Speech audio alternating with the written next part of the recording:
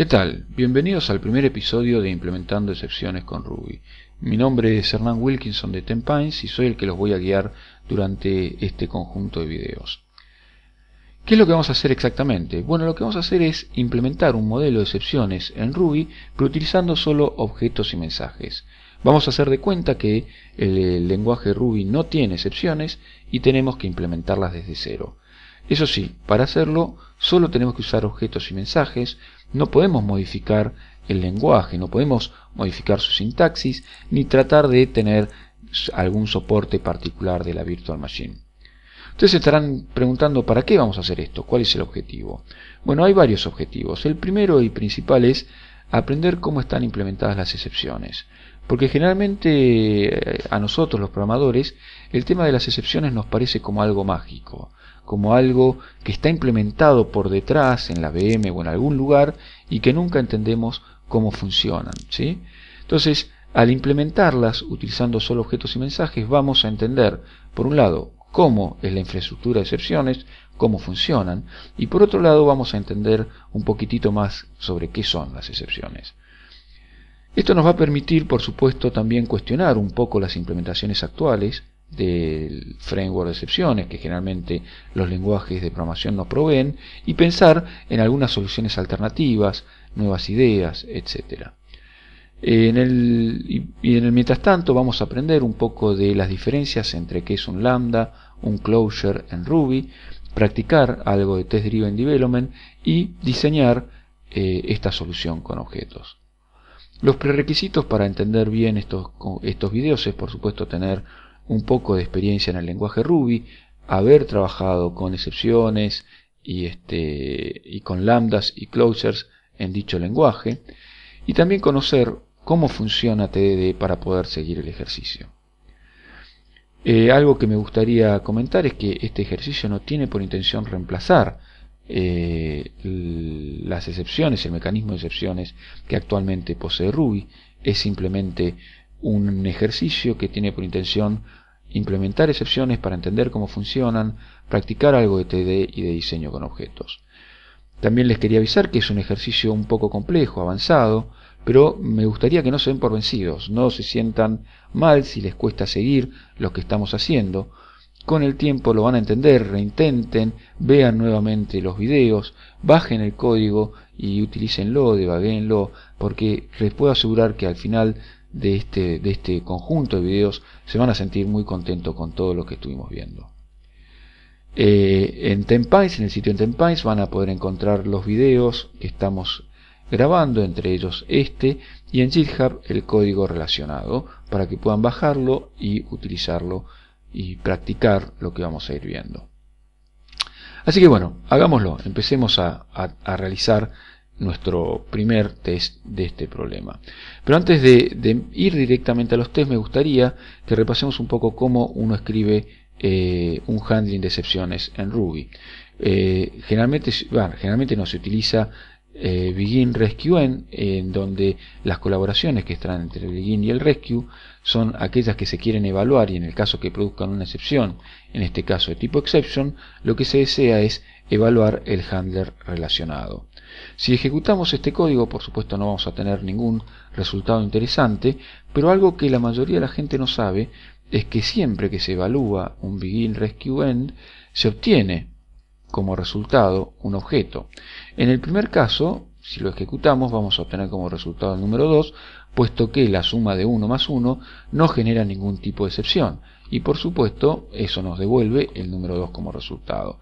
Ahora si la evaluación del conjunto de colaboraciones que se encuentran entre el begin y el rescue levanta alguna excepción, se va a ejecutar el handler relacionado y por lo tanto vamos a obtener como resultado, en este caso, el número 4, que es la suma de 2 más 2. Entonces, por un lado, recuerden que siempre que se ejecute begin rescue end, siempre se obtiene un objeto como resultado y esto nos va a servir mucho para escribir los tests que vamos a tener que escribir. Por otro lado, lo que quiero que veamos es que eh, el Begin Rescue tiene tres partes.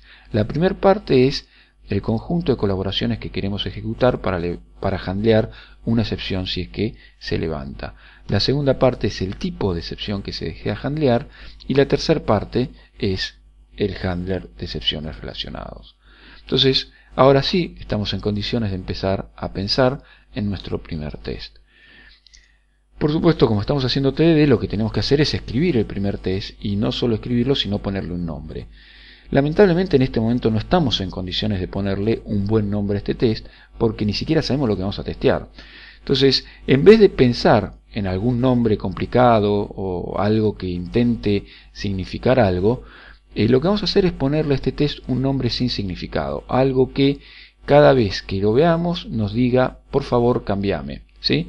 Y no vamos a estar pensando en nombres complicados porque todavía no estamos en condiciones de obtener un buen nombre. Entonces cualquier nombre que nosotros podamos obtener en este momento seguramente va a ser un mal nombre.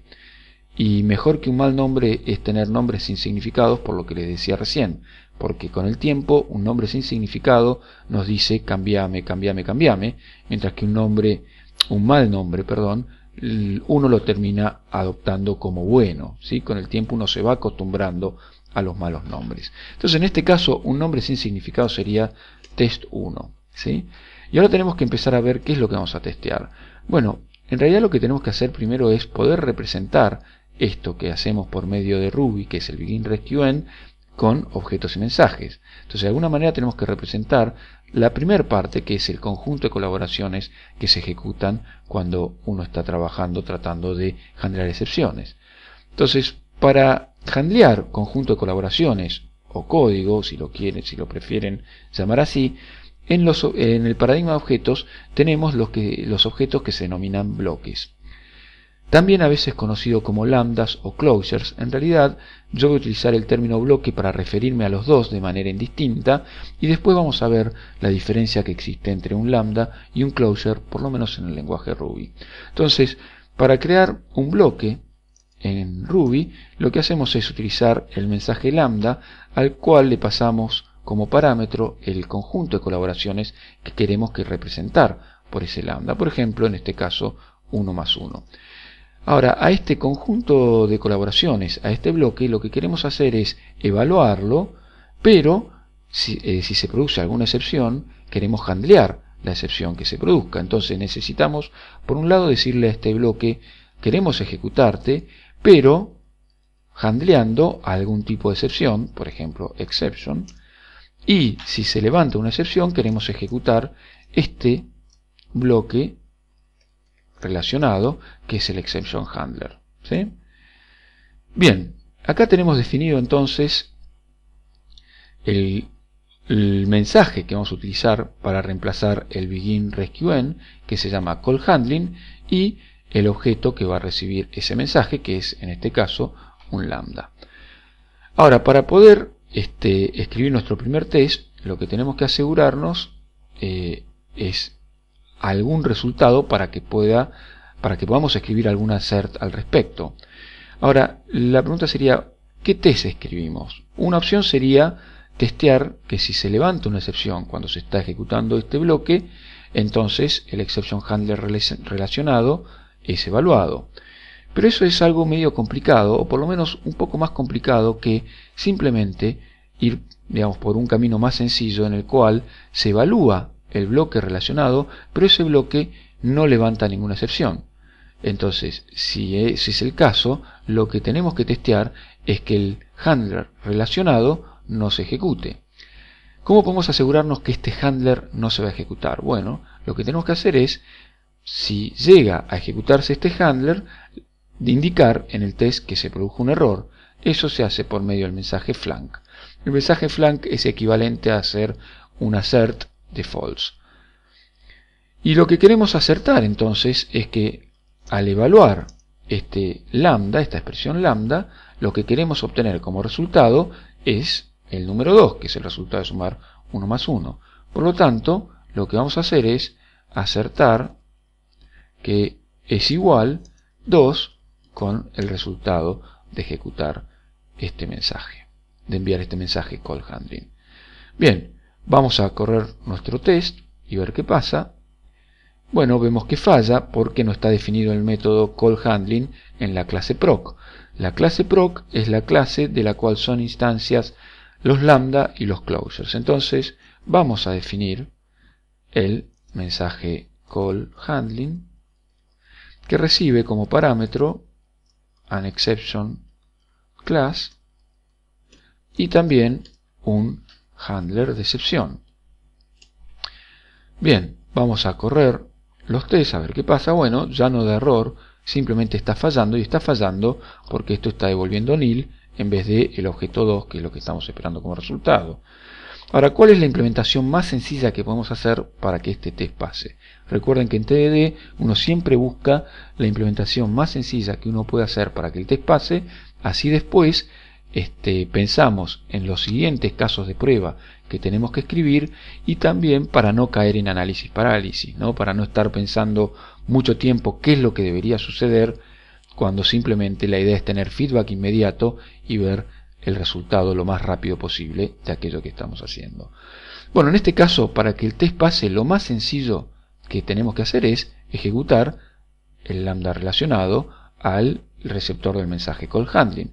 Entonces, en este caso, lo que tenemos que hacer es enviar a la instancia del objeto proc que recibió el mensaje call handling el mensaje call, que es la manera de ejecutar el, el proc relacionado, ¿no? o el lambda o closure. Así que bueno, vamos a ver si esto funciona.